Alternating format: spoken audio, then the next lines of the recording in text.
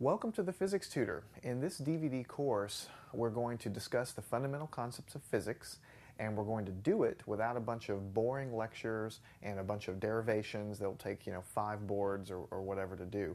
But we're going to do it through working um, example problems. Okay, I've taught a lot of people how to how to do algebra, calculus, trig, and also physics. And um, in my experience, it's actually the toughest subject to actually teach is really physics. And, and you might say, why is that? Um, the reason that I've found that people have a tough time with physics is because most people have a tough time with word problems.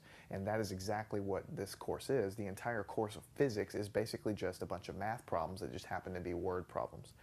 Um, you put, pick up a book of algebra or trigonometry or something and you'll, you'll get a problem and it will say solve this equation. And then if you just know how to bang through the different steps, then you can kind of mechanically solve the equation and, and get the answer as long as you know the rules.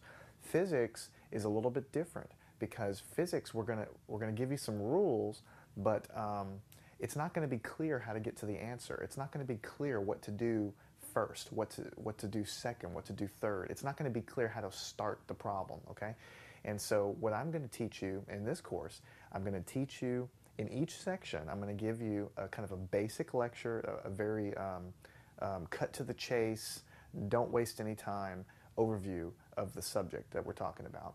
And then I'm going to explain the actual mechanics of how to do the problems by doing problems.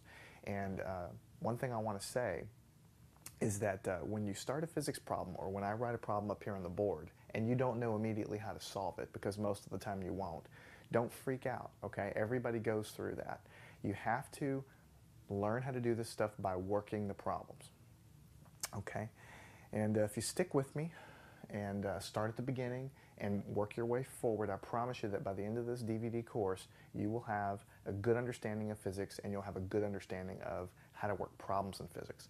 So without wasting any more time, let's just get right to it. The first thing that we're going to talk about in this class is the first thing in, in almost every single physics book ever printed, um, and that's one-dimensional motion. Okay, that's generally going to be the first topic um, that you have in physics. Now, a lot of times, the, the very first topic will be a basic chapter that'll talk about, you know, how do you convert units, what are, are, are the units in physics, what's the unit of force, what's the unit of distance, what's the unit of time, stuff like that. I chose to kind of skip that, not because it's not important, but I'm going to teach you that as we go and we work the problems. So if you don't know how to convert units, don't freak out. We're going to do that as we go along here. So what is one-dimensional motion anyway?